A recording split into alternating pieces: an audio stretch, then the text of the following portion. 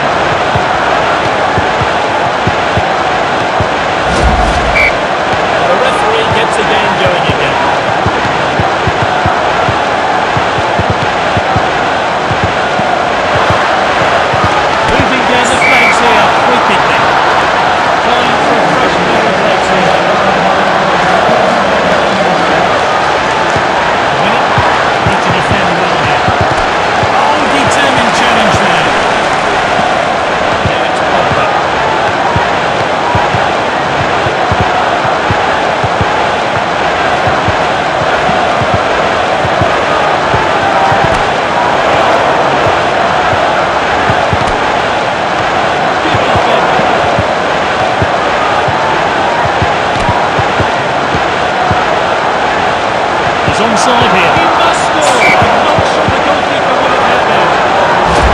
Let's see that again. And the official has indicated two minutes of stoppage time.